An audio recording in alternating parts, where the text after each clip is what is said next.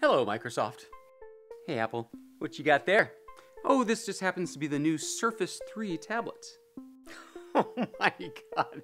A third generation of a product that flopped the first two times around.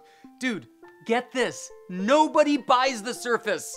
The only tablet anyone ever wants to buy is this one. Well, yes, the iPad sells very well. But wait till the people see what this puppy can do. Uh, like sitting unsold on store shelves? For example, what programs can you run? Oh man, you want to talk apps? There are over 175 quintillion apps. Uh, for the- uh, uh, I didn't say apps. I said programs. I mean real programs, desktop programs. The 4 million regular existing Windows programs, Photoshop and Quicken and the full Microsoft Office. Real software. Real software? Of course, you play movies, right? Oh, are you kidding? Oh. great, then I'm just going to pop out the built in kickstand and enjoy. Oh, I'm sorry. Looks like you don't have a kickstand. On the Surface 3, mine adjusts to any angle you want. Okay, what about getting some work done? Oh, yeah, there are many fine apps that.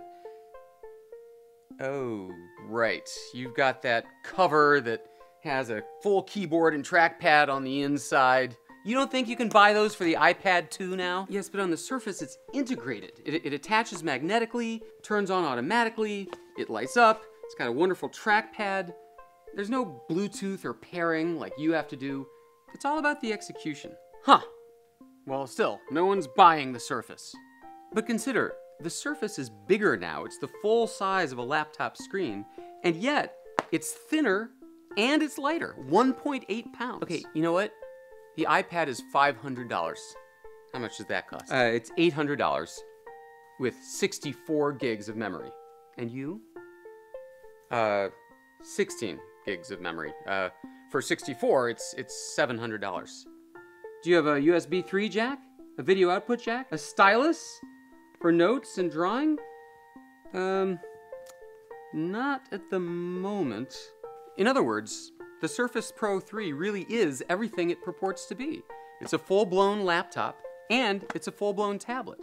In fact, even with the keyboard, which costs $130 extra, even with the keyboard, the whole thing is still lighter and less expensive than the MacBook Air. Let me see that. I mean, nobody's buying this thing.